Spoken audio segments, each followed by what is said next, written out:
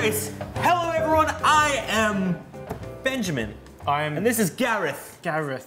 We used our real names this week. We've been using our our false Pseudonyms. names for for for decades of video now. So congratulations um, to. Uh, oh wait, we're, we're not unveiling the winner yet. No. We're not quite there yet. So let's go through product evaluation number 110 and 111. 111. It's all binary. It is. Like the It's totally, future. totally futuristic right now. So anyway, this was a cool week. This was a really quick Yeah, staff cool. evaluation, Yeah. and it will be a quick DMV analysis post eval video because there were clear and distinct winners this week. And we cannot wait to tell you about them. For those of you who are new to product evaluation, we go through each and every one of the top ideas as surfaced by the quirky community, and we bring it through D, M, and V design. What potential for wow factor? Is it solving a problem? Will we win a design award? Market. How big is the market? What do our retail partners think? um, you know, can we really make a, a, a big splash in the marketplace? And then viability. Um, can we manufacture it? Does it? Um, is it a business we can compete in? All of that type of stuff. So uh, D, M, and V. Let's go through each and every idea, starting with Charles Bailey's expandable towel rack. Okay, so his submission is an expanding tower rack for when you have guests staying over. Like you can choose if it's just one rack, two, or three. That's good.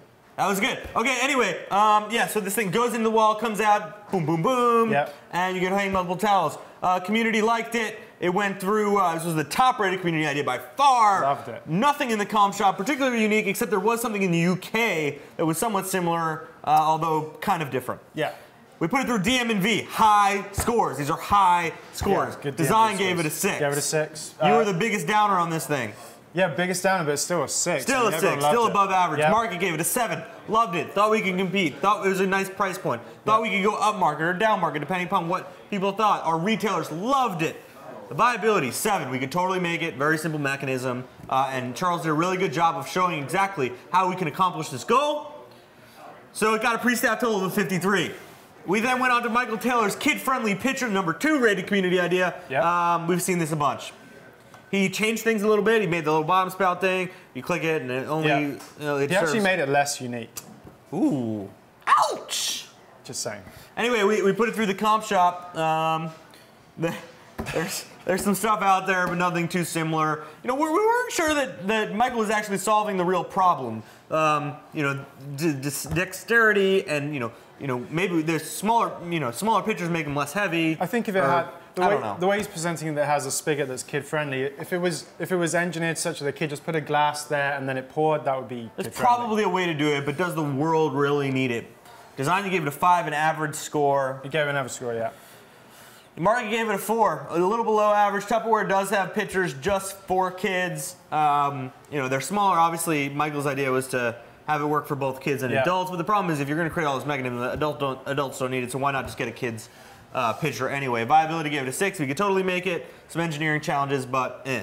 Pre-staff total of a 46. Next. Mike Moncello, light up badminton birdie. Um, to be perfectly honest, we didn't even talk about this this much. Um, we felt like it was kind of kitschy Yeah. and off-brand, and uh, there is an exact patent uh, for this, uh, uh, owned by Pro Performance, uh, which is why we did not um, Move forward. forward with the shuttlecock. Um, next idea came from Peter Peter Peter Wachtel. This is the snack sippy sippity dippy dippity. Um, uh, pretty clear. You wanted to combine a sippy cup and a snack jar. Yep. Um, and we put it through. Uh, community had some comments. Amp didn't like it. Oh wait, and we put it through uh, Comp Shop, and there is something that exists called Mommy's Helper. Yep. Mommy's Helper, five bucks. Uh, sip and snack, no spill cup. Uh, combined sippy cup and snacks. Oxo is a tot flip snack club. Obviously doesn't have a sippy thing, but the Mommy's Helper does. DM and V.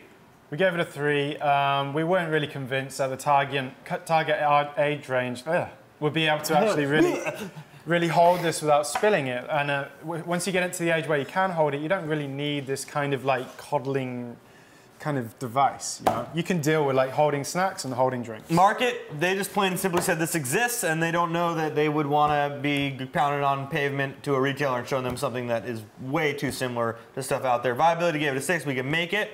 but there are patents out there, uh, really strong patents that combine both sippy cups and snack holders.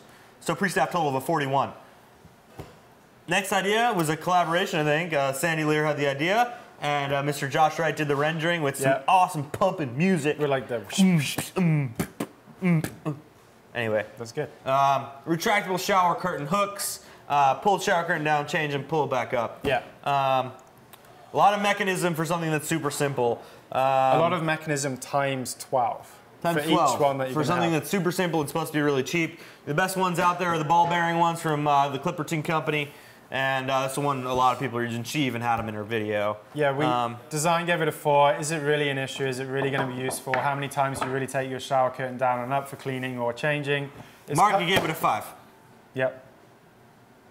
Viability gave it a five. Five. A lot of mechanism. Again, do we, is there enough here to like storm a retailer and be like, this is going to change people's bathrooms? Yeah. Um, answer we didn't necessarily think that was the case.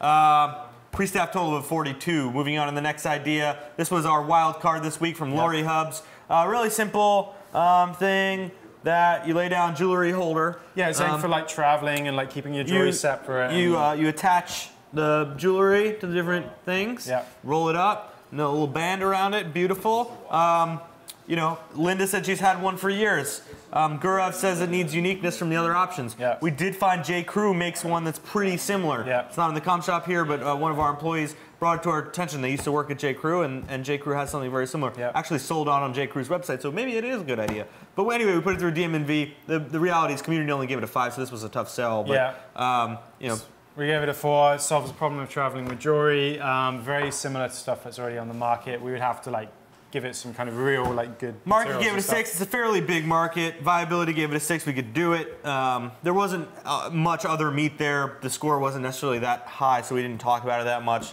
Pre-staff total of a 21. Uh, hey guys, this was a, a historic vote um, during staff evaluation. Literally the first time in two years this has ever happened, to my recollection anyway. Um, every single Quirky staff member and visitor to today's product evaluation all unanimously voted for one, One one product. one product idea. we all agreed. And we, right from the beginning. we well. all agreed, There and was- the community agreed too. Yeah. the community um, right off the bat um, gave this idea a um, a high score, um, and listen, at the end of it, we all voted. Let's see, drum roll. Do your drum roll. Congratulations, Charles Bailey, and your expandable travel uh, tower, towel rack. You are now a quirky inventor. We are so pumped. We are proud of you. Um, it was great to talk to you tonight and let you know that you are a winner. Um, Yeah. It's people like you that, that uh, make us feel really good about doing our job. We're pumped about your idea. This is going to rock. Retailers are going to love it. People are going to eat it up. We cannot wait to get our hands on this, and we'll see you in New York in a few weeks. So congratulations, Charles Bailey. Moving on to product evaluation number one, one, one. Um, this was our brief-based project that uh, looked at barbecue accessories. We looked at seven ideas, I believe. Yep, we did. Um, and it started with a skew-tisserie from Chad Maxey. Um, wanted to uh, create a, a motorized uh, kebab spinner. Um, we thought that was unnecessary. It's a little bit overkill. Yeah, I mean, you only really need to have to. I mean, I guess if you were slow cooking, but Yeah. um, we did have a lot of hardcore barbecuers here at Product. Evaluation this week. We we brought them in. We brought in friends. We brought in um, staff members that we know are just avid barbecuers, and we we consulted. Faris has been barbecuing in the kitchen Yeah, for the barbecue We consulted with the top barbecue experts in our field. Uh, we talked to all the buyers at the retailers and so on. Um, they just thought that this was too much product for uh, too little of a problem. Uh, so we put it through DMV. Sort of, uh, um, probably not much to talk about there. Uh, Really. I put mean, it through it DMV. It was average scores and um, pre-staff total of a 50. Moving on to the next idea. This was David Quirk's modular barbecue stand. Um, sort of looks like a hangman of, uh, of stands planted into the ground, either with a stake or with a weighted base, and uh, can hang your tools. Um, it could uh, hold your drinks Yep. and all that, all that type of stuff. Um, you know, we, we put it through a comp shop. There is one thing that's really, really similar uh, from Maverick Barbecue uh, Accessory Organizer. Which seems like it would be less uh, stable because it's attached to your barbecue, making your barbecue top heavy. But Yeah, I mean that's that that could be the case. Yeah. Um, there are there are obviously other solutions out there. Um, nothing particularly exactly like David's, but um, holding the barbecue tools is obviously something that there's stuff out there. It got relatively high DMV scores, all above average, Yeah. with a six in design. You Yeah. thought there was something there? Yeah, we found it was a simple solution, could be used in different scenarios alongside your garden table, maybe even at the beach. Our retailers actually quite liked it. It was one of the ones that, that they liked. Uh, viability gave it a six. We could totally make it. We were just worried about the um, the over productizing this thing. I mean, with all the stuff involved. Um, Somewhat. maybe I, that probably isn't the best way to describe what our hesitation was. Um, there, there was just sort of like a I think it, some, some of the hesitation was just there were Said other like ideas that felt like there were better accessories. Yeah, yeah, maybe that was the case. I have a hard time explaining why we didn't like this. Um, when I said that, it didn't even feel right. So, I mean, the, the, the bottom line is that there's there was something here. We just didn't think it was the best thing here. Moving on to the next idea. This is Tyrell Hatfield's barbecue grate mover. Uh, this was uh, a, a prime example of searching the Google a little bit. Yeah. Um, this exists. It exists. One, it exists. two, it exists. three. It exists. Three, four, and six on design, market, and viability with a Yeah. pre-staff total of a 39. The next idea was a rotating barbecue grate from Jason Hennessy, um, which uh, we just didn't think was the best use of geometry. No, a lot of barbecues are square or rectangular. Um, and again, if you properly heat your barbecue, uh, you don't need to move everything. Well, you do get hot spots and cold spots. Yeah, I mean, if in like, But is this the best way of actually like manipulating the food? And it's only one more. It's another thing to like clean up. another afterwards. thing, and you're gonna put in a thing, and and um, yeah, there wasn't much out there exactly like this, um, but it got kind of clobbered in, in design and market scores for Yeah. for each, and then viability gave it a seven, because I'm sure we could do it, but Yep. whatever. Now this idea came from Chris Mancini, um, and there's actually a the owner of of an idea called Stuffs. Um, which stuffs your hamburgers actually contacted us because Chris was using images from their website, which we take very, very seriously.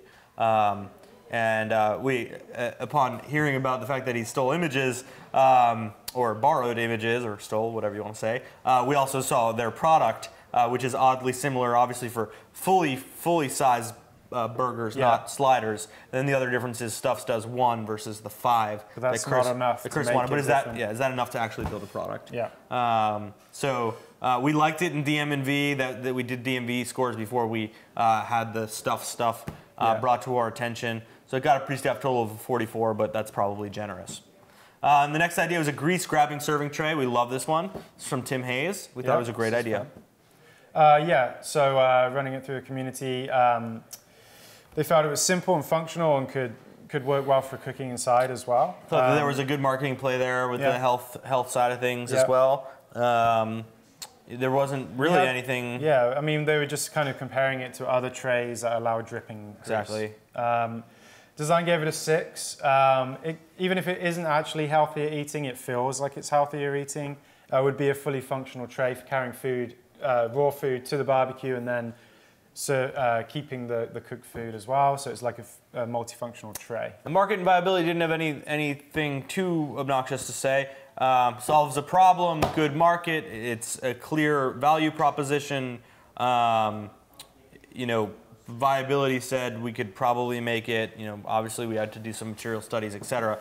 Pre-staff total of a 39 on Tim Hayes' grease grabbing serving tray.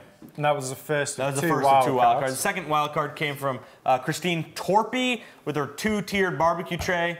Um, this uh, awesomely uh, condensed unit that has two different trays, has attachments off the sides. Yep. You can bring raw meat, finished meat. You basically carry this thing out in the barbecue. You do your jam, and then you bounce. Yeah. Uh, and everything's there. All your tools, all your supplies, all your cleanup stuff, all your cooking stuff. You can organize different hierarchies, like tools on top, food on bottom. It's all there. It's self-serve barbecue shenanigans. Um, listen, we put it through DM and V.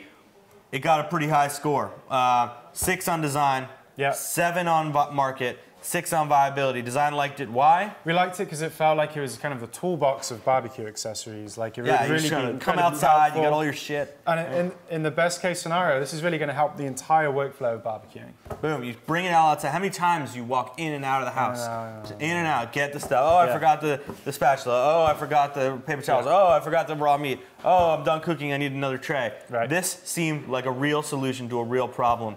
Uh, market thought it was unique to the marketplace. Viability um, thought that it's very doable. Six, seven, six. Design market viability. Pre-staff total of a 23. Yeah, Um, after all of it, we were down to the, actually the two wild cards. we were. And we voted almost, almost unanimously Yeah, again. almost. It was a weird week because we all kind of agreed here at Quirky Yeah. HQ. Christine happen often. Torpy with your two trade, two tiered barbecue multi tray, a wild card winner this week. Not the highest in numbers, No. but the highest in uh, in sort of staff and retailer and uh, community. Not not really community, but staff and retailer. um, and, uh, and partner buy-in, Yeah. um, and we are really excited about this. We know we're going to kill it, and we think you did a really good job Yeah, describing a problem and a solution. So we look forward to working on your product. Congratulations, Christine Torpy and Charles Bailey. Both Yeah. of you are quirky inventors. Both of you have products we're very excited about, and both of you are coming to New York to work with us um, to make these products a reality. So um, have a great weekend, guys. Yeah. Um, and we love you. And um, that's it. That's it, Thanks. right? Thank you. Thank you. Woo!